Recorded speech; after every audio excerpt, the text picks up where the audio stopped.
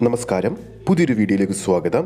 തന്റെ എഴുപത്തിമൂന്നാം വയസ്സിലും ഏതൊരു പിക്ക് സോഷ്യൽ മീഡിയയിൽ ഇട്ടാൽ പോലും സോഷ്യൽ മീഡിയ നിന്ന് കത്തിക്കാൻ സാധിക്കുന്ന ഒരു സൂപ്പർ താരമാണ് മലയാളത്തിന്റെ സ്വന്തം മമ്മൂക്ക. ഇപ്പോഴത്തെ അദ്ദേഹത്തിന്റെ ഏറ്റവും ലേറ്റസ്റ്റ് ആയിട്ടുള്ള ഒരു പിക്ക് ഇപ്പോൾ സോഷ്യൽ മീഡിയയിൽ കത്തിപ്പടരുകയാണ്. മലയാളത്തിലെ ഏത് യുവനടൻ പോലും അണിഞ്ഞൊരുങ്ങി വന്നു നിന്നാൽ പോലും ഇത്രക്ക് അഴക് കാണുമോ എന്ന് എന്ന് സംശയം തോന്നിപ്പിക്കുന്ന രീതിയിലാണ് മമ്മൂക്കയുടെ ലേറ്റസ്റ്റ് ഫോട്ടോ കാണുന്ന ഓരോ പ്രേക്ഷകരും തോന്നുന്നത്. മമ്മൂക്കയുടേതായി പുറത്തിറങ്ങുന്ന ഓരോ സ്റ്റൈലിഷ് ലുക്കുള്ള ഫോട്ടോകൾ കാണുമ്പോൾ സാധാരണ ഓരോ യുവാക്കൾക്കും അദ്ദേഹത്തോടുള്ള അസൂയ കൂടി വരുന്ന കാഴ്ച നമ്മൾ പലപ്പോഴായി കമന്റ് ബോക്സിൽ കണ്ടിട്ടുള്ളതാണ്. കഴിഞ്ഞ ദിവസം മമൂക്ക മഹേഷ് നാരായണ ചിത്രത്തിന്റെ ഷൂട്ടിങ്ങിന് വേണ്ടി ശ്രീലങ്കയിലേക്ക് പോയപ്പോൾ ശ്രീലങ്കൻ എയർലൈൻസ് കുറിച്ച വാക്കുകൾ സോഷ്യൽ മീഡിയയിൽ ഇപ്പോൾ ശ്രദ്ധ നേടുകയാണ്. പുതിയ ചിത്രത്തിന്റെ ഷൂട്ടിങ്ങിനായി ശ്രീലങ്കയിലേക്ക് പറന്ന മമ്മൂട്ടിക്ക് ഹാർദവമായ സ്വാഗതമാണ് ശ്രീലങ്കയിൽ എയർലൈൻസ് നൽകിയത്. മലയാളത്തിന്റെ അതുല്യ നടൻ ഞങ്ങൾക്കൊപ്പം യാത്ര ചെയ്യുന്നതിൽ അഭിമാനവും സന്തോഷവും ഉണ്ടെന്നാണ് അടിക്കുറിപ്പോടു കൂടിയാണ് ശ്രീലങ്കൻ എയർലൈൻസ് താരത്തോടൊപ്പമുള്ള ചിത്രത്തോടു കൂടി പങ്കുവച്ചിരിക്കുന്നത്. നവംബർ ഇരുപത്തൊമ്പതാം തീയതി റീ റിലീസ് ചെയ്യാൻ പോകുന്ന ഫോർ കെ പതിപ്പിൽ റീ റിലീസ് ചെയ്യാൻ പോകുന്ന മമ്മൂക്കയുടെ വല്യേട്ടൻ എന്ന സിനിമയ്ക്ക്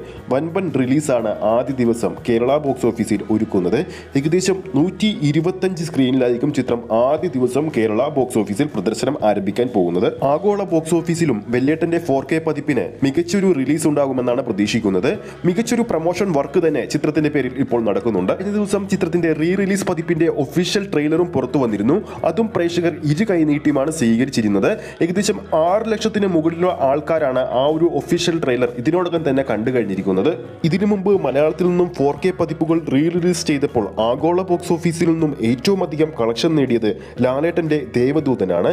ആഗോള ബോക്സ് ഓഫീസിൽ നിന്നും അഞ്ച് കോടി മുപ്പത്തഞ്ച് ലക്ഷം രൂപയായിരുന്നു അന്ന് ആ ചിത്രം ഫോർ കെ പതിപ്പിൽ റീ റിലീസിലൂടെ നേടിയത്. രണ്ടാം സ്ഥാനത്തും ഒരു ലാലേട്ടൻ ചിത്രം തന്നെയാണ്. സ്ഫടികമാണ് ഈ ലിസ്റ്റിൽ രണ്ടാം സ്ഥാനത്തുള്ളത്. ആഗോള ബോക്സ് ഓഫീസിൽ നിന്നും നാല് കോടി എൺപത്തിയേഴ് ലക്ഷം രൂപയാണ് സ്ഫടികത്തിന്റെ ഫോർ കെ പതിപ്പ് റീ റിലീസിലൂടെ നേടിയത്. മൂന്നാം സ്ഥാനത്തുള്ളത് മണിച്ചിത്രത്താഴാണ് ലാലേട്ടന്റെ എക്കാലത്തെയും വൻപൻ ഹിറ്റായി മാറിയ മണിച്ചിത്രത്താഴിന്റെ ഫോർ കെ റീ റിലീസ് പതിപ്പ് ആഗോള ബോക്സ് ഓഫീസിൽ നിന്നും നാല് കോടി നാൽപ്പത്തൊന്ന് ലക്ഷം രൂപയാണ് സ്വന്തമാക്കിയത്. മമ്മൂക്കിയുടെ എക്കാലത്തെയും വലിയ മാസ് ചിത്രങ്ങളിലൊന്നായ വെല്ലേട്ടന്റെ ഫോർ കെ റീ റിലീസ് പതിപ്പിന്റെ റിലീസിന് ശേഷം മലയാളത്തിൽ നിന്നും ഏറ്റവും അധികം റീ റിലീസ് പതിപ്പുകളിൽ ഏറ്റവും അധികം ആഗോള ബോക്സ് ഓഫീസിൽ നിന്നും കളക്ഷൻ നേടുന്ന ചിത്രമായി തെല്ലേട്ടൻ മാറുമോ ഇല്ലയോ എന്നാണ് ഇപ്പോൾ ആരാധകർ ഉറ്റുനോക്കുന്നത്. ഇപ്പോൾ ഈ വീഡിയോയിൽ പറഞ്ഞതുപോലെ തന്നെ ഫോർ കെ പതിപ്പിൽ റീ റിലീസ് ചെയ്തപ്പെട്ട ലാലേട്ടന്റെ മൂന്ന് ചിത്രങ്ങൾ നോക്കുമ്പോൾ തന്നെ അതായത് സ്ഫടികം ദേവദൂതൻ മണിച്ചിത്രത്താഴ് ഈ മൂന്ന് ചിത്രങ്ങൾ നോക്കുമ്പോൾ തന്നെ ടെലിവിഷനിലൂടെ നമ്മൾ ഏറ്റവും അധികം കണ്ട ചിത്രം ചിലപ്പോൾ അത് വെല്ലേട്ടൻ തന്നെ ആയിരിക്കും. എന്തായാലും റെക്കോർഡുകൾ മറികടക്കാനുള്ളതാണ്. നമുക്കിതിനു വേണ്ടി കാത്തിരിക്കാം. ഈ വരുന്ന നവംബർ ഇരുപത്തൊമ്പതാം തീയതി വെല്ലേട്ടന്റെ റീ റിലീസിന് വേണ്ടി കാത്തിരിക്കുന്നവർ മാത്രം താഴെ കമന്റ് ചെയ്യുക. വീഡിയോ ഇഷ്ടപ്പെട്ടെങ്കിൽ വീഡിയോ ലൈക്ക് ചെയ്യാനും ചാനൽ സബ്സ്ക്രൈബ് ചെയ്യുന്ന കാര്യം ഓർമ്മിപ്പിക്കുകയാണ്. ഫേസ്ബുക്ക് പേജിലൂടെയാണ് ഈ ഒരു വീഡിയോ കാണുന്നതെങ്കിൽ ഫേസ്ബുക്ക് പേജ് ഫോളോ ചെയ്യുക. അടുത്തൊരു സിനിമ അപ്ഡേറ്റുമായി നമുക്ക് വീണ്ടും കാണാം.